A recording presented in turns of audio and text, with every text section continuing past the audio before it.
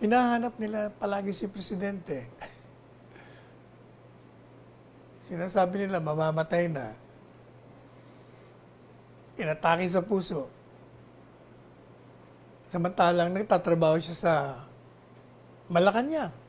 Nagbigay na agad ng mga espekulasyon. Hindi natuloy. Kasi inatake sa puso. Nagpalabas pa sila ng fake photo, mga larawan, na nasa wheelchair. Samantalang nasa motorsiklo siya. Rinig po tayong sinasabi, we need leadership. We need inspiration. Eh ano ba? Eh ito naman no, nanggagaling ito sa mga kontra.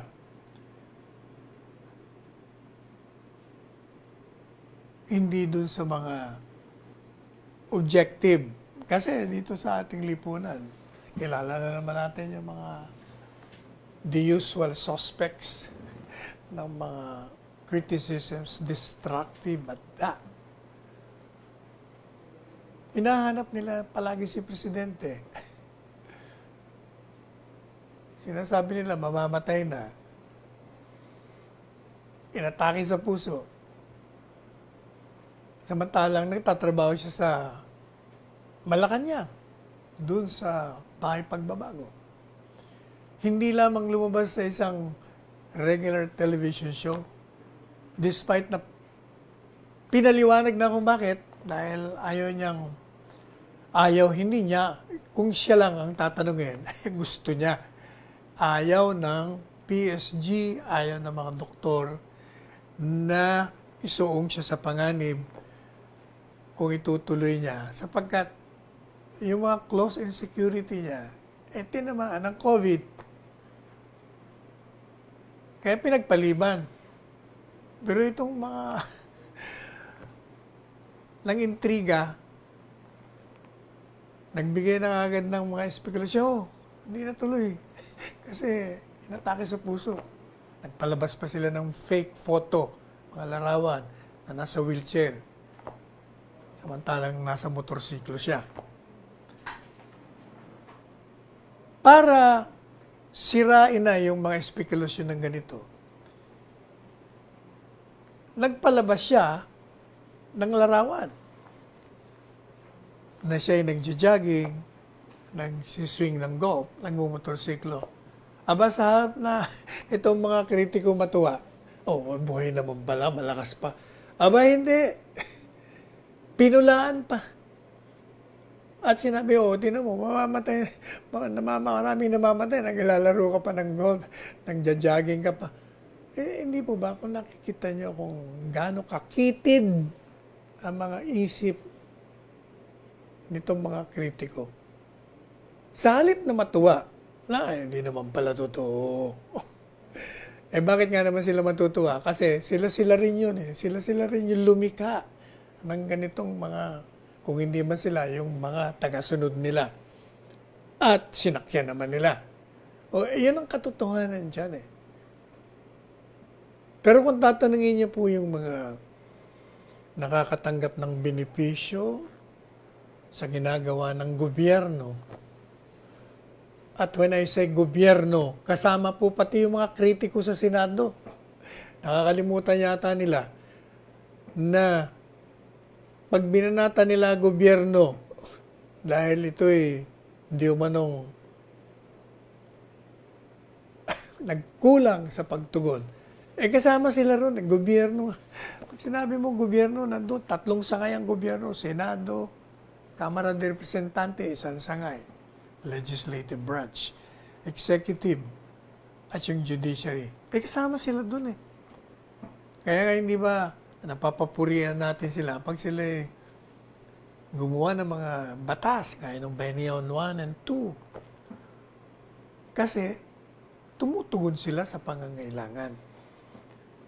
Na yung mga tao po na nakakatanggap ng mga ayuda, yung mga nababakunahan, yung mga nagagamot, yung mga nakakabalik sa trabaho, yung nakakauwi galing sa abroad, yung mga tinamaan, nakauwi.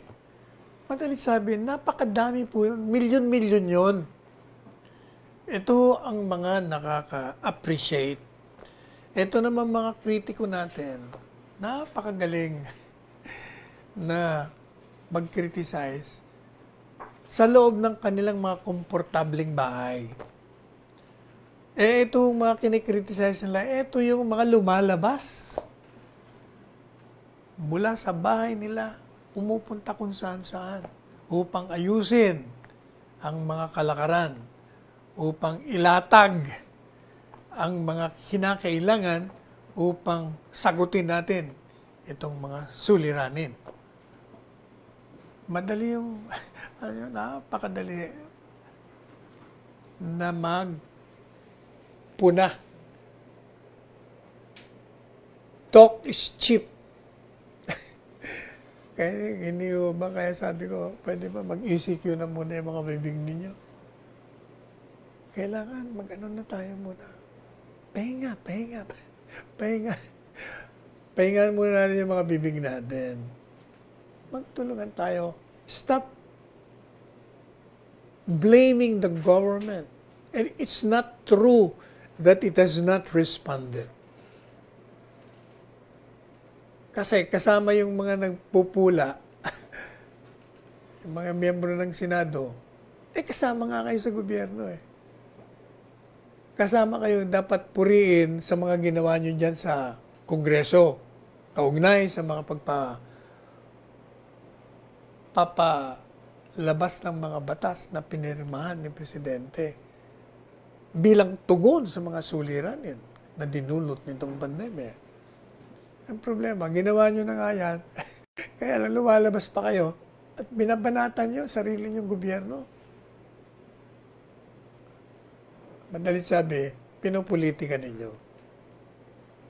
O, teka muna. Pahinga muna tayo. Balikan po natin ngayon.